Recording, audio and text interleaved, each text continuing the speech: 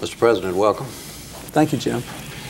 The news of this day is that Kenneth Starr, the independent counsel, is investigating allegations that you suborned perjury by encouraging a 24-year-old woman, former White House intern, to lie under oath in a civil deposition about her having had an affair with you. Mr. President, is that true? That is not true. That is not true. I did not ask anyone to tell anything other than the truth. There is no improper relationship, and I intend to cooperate with this inquiry. Uh, but that is not true. No improper relationship. Define what you mean by that. Well, I think you know what it means. It means that uh, that there is not a, uh, a sexual relationship, an improper sexual relationship, or any other uh, kind of improper relationship. You had no sexual relationship with this young woman. There is not a sexual relationship. That is accurate. The, we are doing our best to cooperate here, but mm -hmm. we don't know much yet. Uh, and uh, that's all I can say now. What I'm trying to do is to uh, contain my natural impulses and get back to work. I think it's important that we cooperate. I will cooperate, but I want to focus on the work at hand.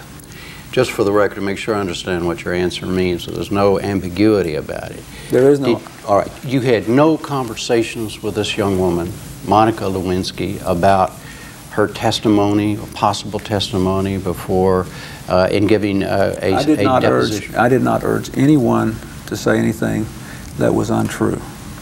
I did not urge anyone to say anything was untrue. That's my statement to you. Did you talk to and on? On, beyond that, I think it's very important that we let the investigation take its course.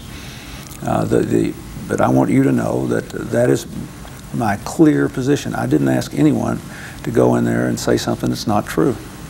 What about you're having to add? Did another one of the allegations is that uh, that you may have asked, or the allegation that's been investigated is that you asked your friend Vernon Jordan to do that. To do that. I absolutely did not that, do that. I can tell you, I did not do that. I was I did not do that.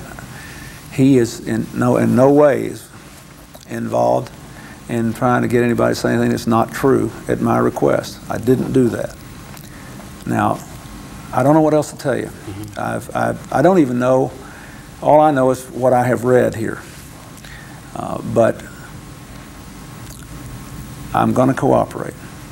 I didn't ask anybody not to tell the truth. Mm -hmm. There is no improper relationship. The allegations I have read are not true. I do not know what the basis of them is other than just what you know. We'll just have to wait and see and I will be vigorous about it. But I have got to get back to the work of the country. I was up past midnight with Prime Minister Netanyahu last night. I've got Mr. Arafat coming in. We've got action all over the world and the State of the Union to do.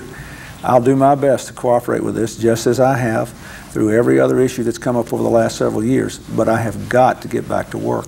Would you acknowledge, though, Mr. President, this is very serious business, uh, this charge against you that's been made? And I will cooperate in the inquiry of it. Mm -hmm. What's going on? What, what, what, what? Uh, if it's not true, true, that means well, somebody you, made this up. Is that, is that, is that? I, look, you know as much about this as I do right now. We'll just have to look into it and cooperate, and uh, we'll see. But meanwhile, I've got to go on with the work of the country. I got hired to help the rest of the American people.